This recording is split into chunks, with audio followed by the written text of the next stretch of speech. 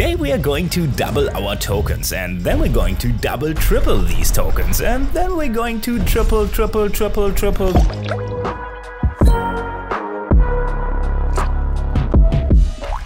Well, hello there, random person on the internet, and today we are going to create an ungodly amount of tokens. Well, I guess technically you could call it a godly amount, and if you want a godly amount of tokens, you can get them at cardkingdom.com, your place to go for anything magic related. Check them out, a link is in the description, and here we are. And looks like a keep. Let's hope we draw a white source to cast this Sky Knight Vanguard next turn. See what our opponent is up to. Tapped land.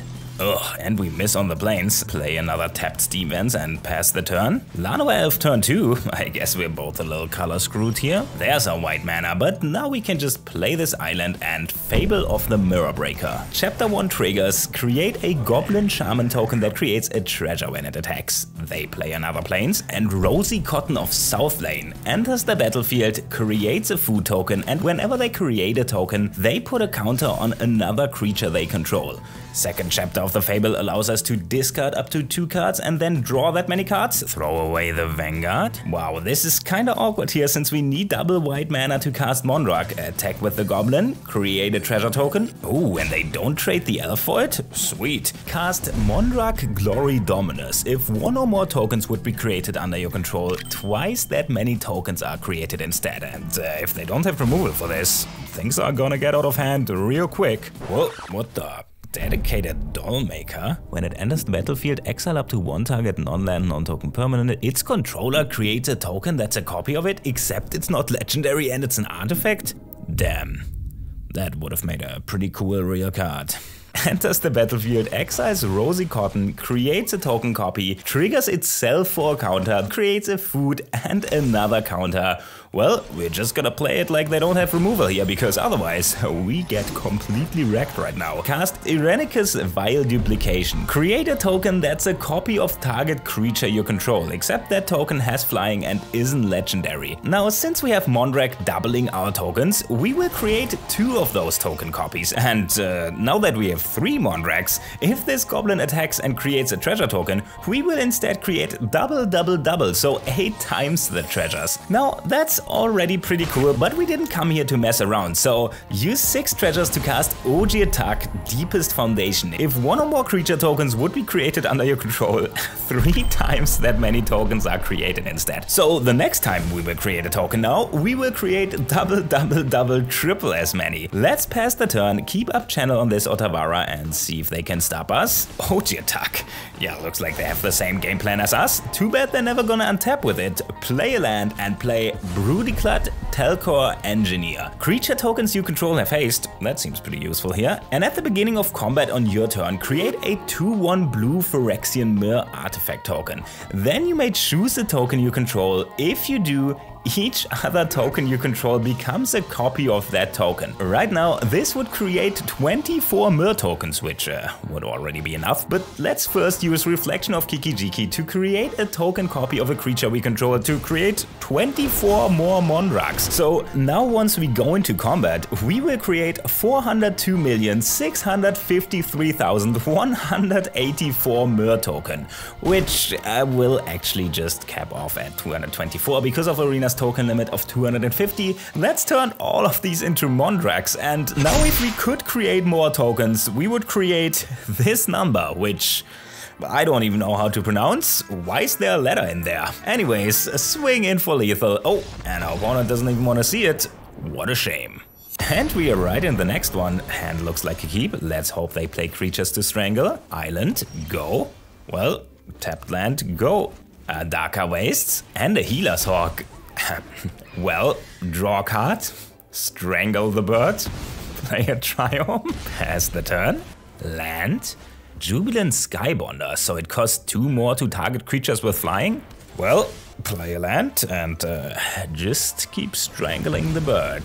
Uh, I don't see anything funny about that. Oh, and they just passed the turn. Okay, shock his demons to play around the mana type, I guess. Legion Warboss? Oh, and it resolves. So at the beginning of combat, we create a hasty goblin token that has to attack this turn. Hmm, and they just take it. They do have something up here, huh, but I guess they're not gonna cast it.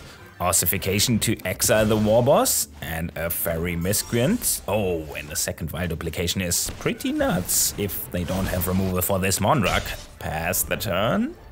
Hanged Executioner, that's kind of removal, but we're already gonna have three Mondraks next turn. Let's get this party started. Triple up on the Mondraks, and we're gonna get eight more next turn. Oh, yeah, most people just scoop way before it gets crazy. Let's just skip to the good parts. Like double tripling a Vile Duplication on Ojer Taq, creating six copies of it, and then tapping Reflection of Kiki-Jiki to create 4,374 6-6 Flying God tokens with haste, which immediately fill up the token limit, but we still attack for 1400 damage here, if the opponent would let us. Now let's see what happens if we create 3 copies of Ojer Taq, use the reflection to create 81 copies of Legion Warboss, and then have each of them create 81 hasty goblins when we go to combat. Oh, Ah, uh, nothing unexpected about this though.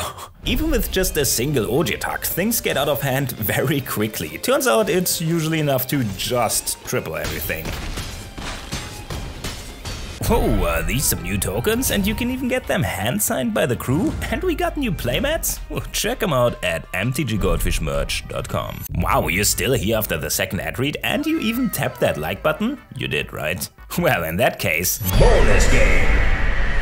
Alright, this hand is missing blue mana, but it's a keep. Opponent, Copperline Gorge, passes back. Well, play a Plains, Birth of Meletis enters the battlefield, first chapter triggers, search library for Plains, pass the turn. Land, Intrepid Paleontologist, looks like we're up against dinosaurs. Second chapter creates a wall token, play a land, and Restoration of Eiganjo. Same first chapter as Birth of Meletis, grab another Plains, pass the turn. Mountain, and Gwenna Eyes of Gaia. So they have up to 7 mana next turn. That's kinda scary. 2 Saga triggers. Restoration lets us discard a card. If we do, we can return a permanent with mana value 2 or less from the graveyard to the battlefield tapped. Birth of Meletis gains 2. Play a Plains, Legion Warboss, create a Goblin. It sadly has to attack so it dies right away. Let's just hope they don't go too crazy on us. Another Paleontologist is fine.